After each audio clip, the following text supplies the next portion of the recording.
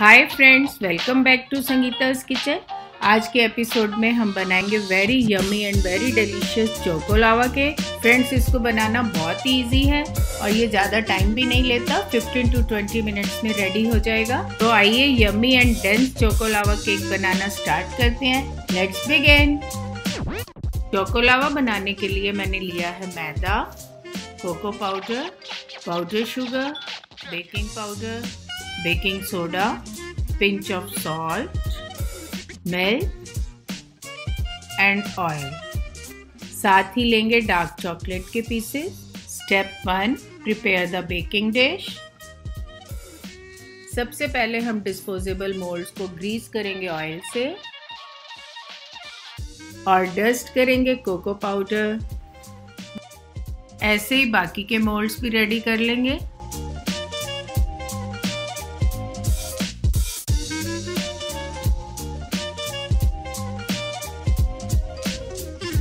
Step two prepare the batter एक bowl में sieve करेंगे सारे ड्राई इंग्रेडिएंट्स यानी कि मैदा cocoa powder powder sugar baking powder baking soda and pinch of salt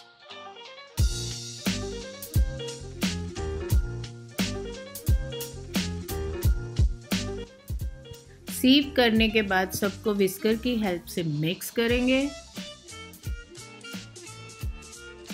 अब ऐड करेंगे वेट इंग्रेडिएंट्स जैसे कि ऑयल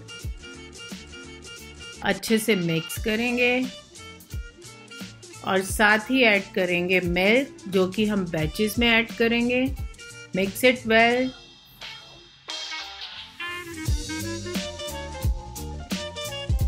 make sure एक लम्फ्री बैटर रेडी हो।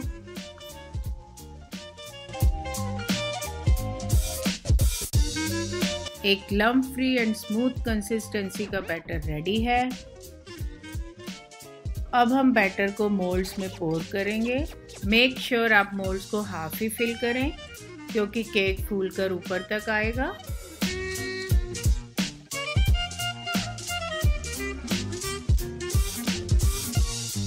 Now comes the best part add करेंगे सेंटर में डार्क चॉकलेट के pieces two to three pieces add करेंगे। और इनको अच्छे से डिप करेंगे। अब बेक करेंगे प्री हीटेड ओवन में at 180 degree Celsius for 12 to 15 minutes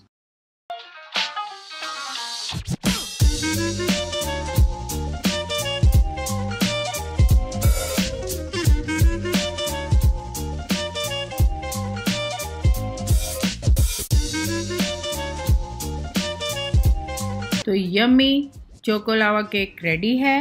let's dig in